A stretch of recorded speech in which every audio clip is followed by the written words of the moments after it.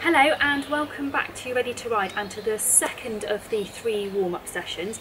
As I said before, it's a really good idea to get to know all three of the different warm-ups that I'm providing for you and not necessarily do all three of them but combine different bits of each of them to come up with your own warm-up plan. Also make sure you're familiar with the introductory session and making sure you can set up your body in preparation for doing your warm-up and the main exercises. Also get used to setting yourself up before you get on your horse but the more you can get into that mindset of setting up each segment of your body before you start doing any work the better. So without further ado, let's get going. We're going to start at the top. I always seem to find myself starting at the top. It just seems natural to me to start with the head and neck. We're going to do an exercise called neck retractions. Retractions means taking your neck backwards. So basically, it's a very unattractive exercise. You're drawing your chin straight backwards. There are two cheats that people do with this exercise. One is to drop down and one is to look upwards you want to literally go straight backwards. A physio I used to work with said, imagine you're closing the chin drawer, literally sliding backwards. And this might seem like a really strange exercise to do, but it's a really good exercise for strengthening your deep neck flexors. And those are little tiny muscles that sit between the vertebrae in your neck. They provide a lot of deep stability to your neck and really good for riding, particularly if you're doing something like sitting trot. Helps to reduce some of that head nod that we're all probably very familiar with seeing riders do and not particularly attractive. So the stronger your deep neck flexors, the better the stability for your neck.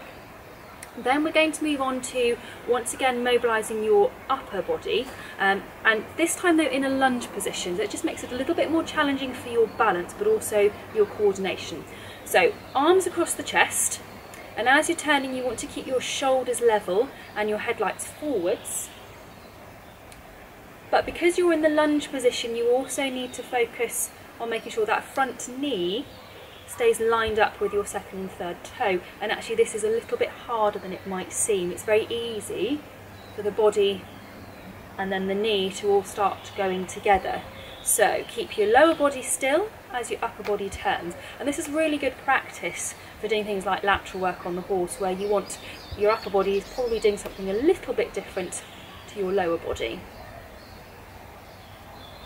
When you're happy you've loosened up nicely in both directions, swap over and make sure you've got the same degree of mobility with your legs the other way around and it's surprising often how actually with your legs in a different combination position you're not as mobile or you're not as well balanced. So this is a really good little exercise just to sharpen up your balance and your control. Same principles apply, level shoulders, headlights forwards, front knee over second and third toe. Okay, face the front again, feet back underneath you. We're going to do um, an whole body loosening exercise called the upper body roll. And a lot of people find this quite difficult to really relax into but it's called an upper body roll for a reason. You want to feel like you are rolling through the movement. It's very simple. I'm going to demonstrate it and then talk you through it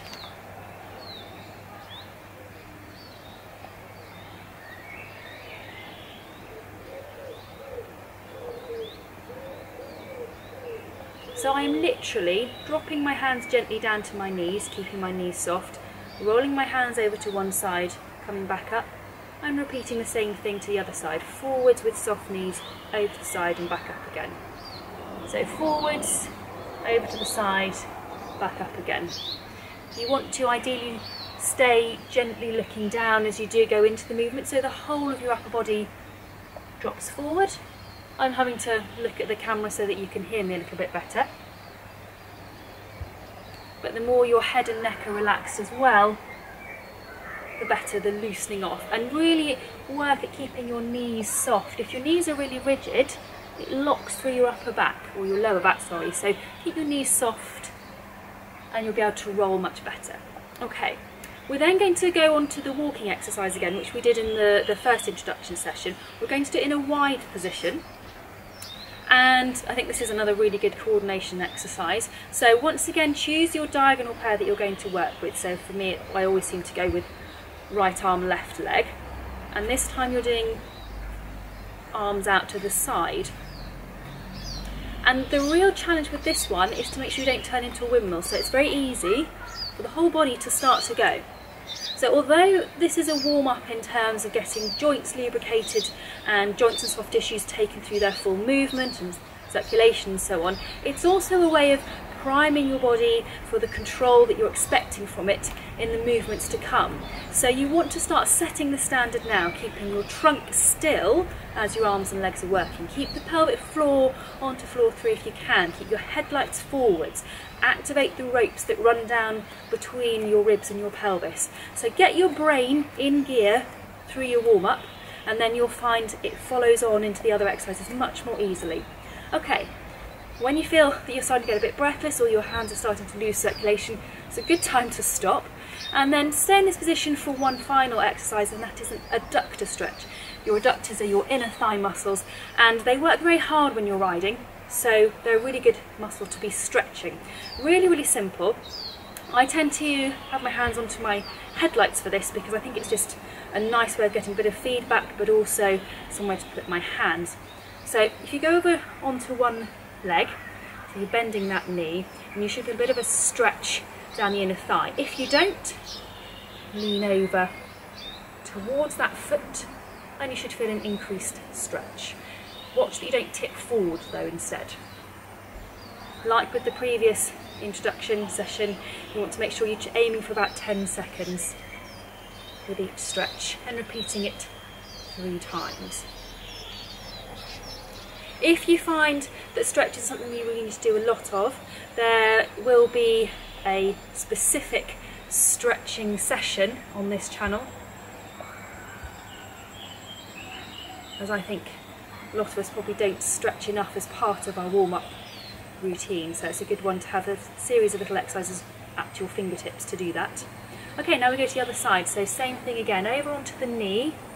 If you don't feel the stretch take the shoulder towards the foot. And come back up. Have a little pause and then off you go again. Same thing over into the stretch. Another way of increasing the stretch is probably quite obvious, but is to have your feet that little bit further apart. But some people find it quite hard to balance, and sometimes if they're too far apart, it's quite tricky to come back up again from that position, certainly without any elegance.